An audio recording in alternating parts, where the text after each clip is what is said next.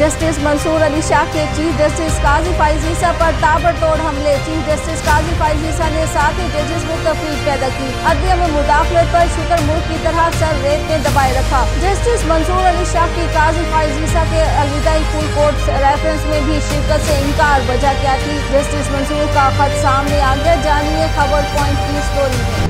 Justice Yahya की तकर्री के फौरी बाद justice Mansoor Ali Shah, chief justice काजी फाइजीसा पर भड़क उठे। दिल का सारा गुबार निकाल फेंका। जस्टिस मंसूर अली शाह ने चीफ जस्टिस काजी फाइजीसा के इजाज में फुल कोर्ट रेफरेंस में शिरकत न करने की वजूहत भी बता दी। जस्टिस मंसूर अली शाह ने जस्टिस सुप्रीम कोर्ट को खत लिखा, जिसमें चीफ जस्टिस के रिटायरमेंट होने पर फुल कोर्ट रेफरेंस में शिरकत न करने की वजूहत बताई। खत में कहा गया कि सबक चीफ जस्टिस साकिब निसार ने आईनी हदूद से तजावुज किया तो इनके रेफरेंस में शिरकत से भी इनकार किया। और साकिब निसार के रेफरेंस में अदम शिरकत की वजूहत भी खत के ज़रिए बताई थी। चीफ जस्टिस काजी फाइज ईसा के रेफरेंस में शिरकत न करने की वजूहत मजीद परेशान कन है। इसी वजह से चीफ जस्टिस काजी फाइज ईसा के एजाज में मुनदा रेफरेंस में भी शिरकत नहीं करूँगा। जस्टिस मंसूर का कहना था की मेरा खत फुल कोर्ट के रिकॉर्ड पर रखा जाए। ऐसे दौर का जश्न मनाने से पैगाम जाएगा। एक चीफ जस्टिस इदारे ऐसी से बेवफाई कर सकता है। पैगाम जाएगा, चीफ जस्टिस इदारे की ताकत को कमज़ोर कर सकता है और एक चीफ जस्टिस छोटा और घटिया अमल कर सकता है। खत में उनका कहना था कि मुआजत खाऊं और अपने जमीर की आवाज़ पर ऐसे चीफ जस्टिस के रेफरेंस में शिरकत नहीं कर सकता। चीफ जस्टिस का हकीकी किरदार तमाम लोगों के हकूक की हिफाजत करना होता है। अदलिया की आज़ादी का दिफा करना और सबके लिए इंसाफ को यकीनी बनाना है। लेकिन चीफ जस्टिस काजी फाइजीसा ने अदलिया पर बैरूनी दबाव नजरअंदाज किया। उनका कहना था की अदलिया का किरदार ताकत पर एक चेक और बैलेंस के तौर पर होता है, लेकिन इससे रोग अदानी की गई। काजी फाइजीसा ने ना तो अदलिया के दिफा के लिए इखलाकी किरदार अदा किया, ना हौसला दिखाया और अपने मुफाद के लिए अदालतों को कमज़ोर करने की कोशिशों पर कानून की हुक्मरानी पर समझौता किया। सुप्रीम कोर्ट के जज ने कहा कि चीफ जस्टिस शुतरमुर्ग की तरह अपने सर को रेत में दबा कर रहे। जस्टिस मंसूर अली शाह मुदाखलत के खिलाफ दीवार बनने के बजाय चीफ जस्टिस ने दरवाजे खोल दिए। खत में कहा गया कि